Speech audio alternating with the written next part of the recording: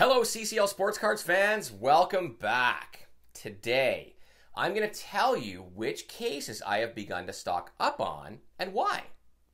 If you've watched some of my more recent episodes, you know that I'm a huge fan of buying wax cases. And as a review, this is to override my own arrogance in believing that I'm smart enough to pick the top prospects in every single product in every single year.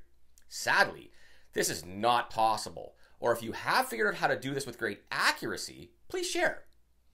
Some of our best prospect ideas or investments will go to zero. I mean, scouts get it wrong all the time. However, picking our favorite prospects and speculating is fun. So I say, keep doing it. The hope remains the same as well that our big wins will pay for the losses over time. But I also prefer to have some safer investments that may lose value over time due to the hobby continuing to cool off or print runs rising. But these will most likely rise over the longer term because supply will slowly decrease, and with time, we begin to see which prospects become tomorrow's All Stars or future Hall of Famers. I'll say it this way take a look at 2017 Bowman. When this product dropped, Ronald Acuna was most certainly not the chase. Do you know who was? Number one international signee Kevin Maitan. Now, when 2017 Bowman dropped, a jumbo case set you back roughly $3,000, give or take. It now costs $18,500, largely due to the superstardom path that Ronald Acuna is on. That's about a $15,000 rise or a 500% return on your money. All you had to do was not open it. Yes, yes, I know, but what if there was a red Acuna inside? The answer is, I don't care. I do enough gambling on prospects as it is. This is rooted in less aggressive approach that will require discipline. You can really see this in many products as well.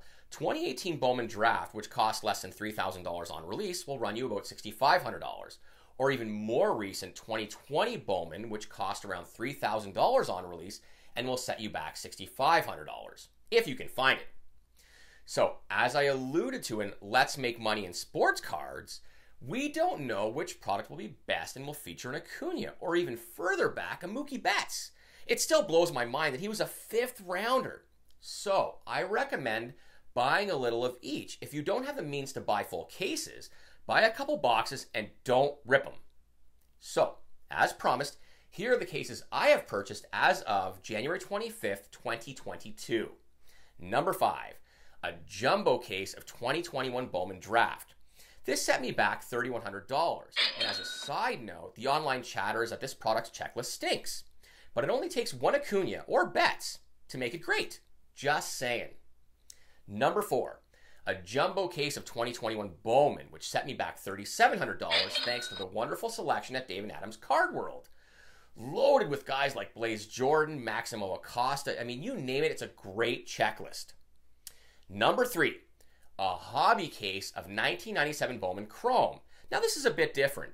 This was the first year Bowman Chrome was released, and it features rookie cards of future Hall of Famer Adrian Beltre and the late current Hall of Famer Roy Halladay.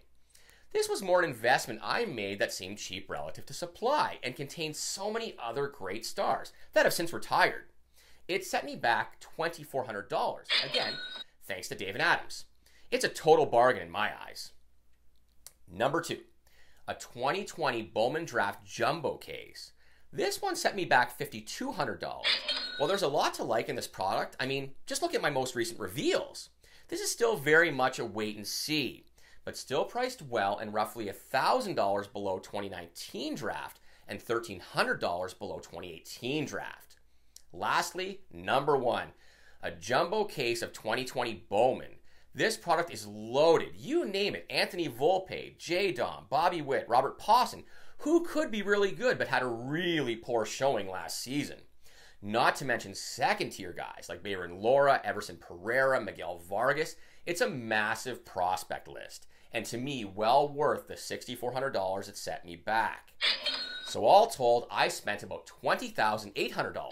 It is highly unlikely I will rip these. They will remain stored and continue to be more of a hedge against my own ignorance and believing I can pick baseball prospects, prospects any better than my cat. As well thought out as I think they are. So there it is, folks. I hope you enjoyed the share. Thank you for watching and thank you for the increasing subscriptions. And please share if you think someone in your universe would benefit from what I'm saying. Have an awesome week.